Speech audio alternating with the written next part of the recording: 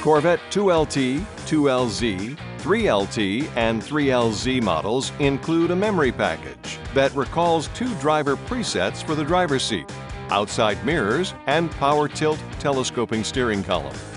To set the memory position, adjust the driver's seat, outside mirrors, and steering wheel to the desired positions. Press and release the set button, and then press and hold button 1 or 2 until two beeps sound.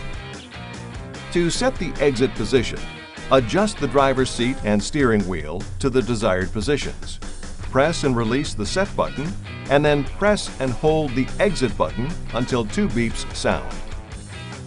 To recall the setting at any time, press and hold button 1 or 2 or the exit button until the stored position is reached. To set the auto memory recall to either driver door open or at ignition on, or set easy exit recall to vehicle off or driver door open, use the Driver Information Center and go to Settings, then Vehicle, then Comfort and Convenience, then Auto Memory Recall or Easy Exit Options.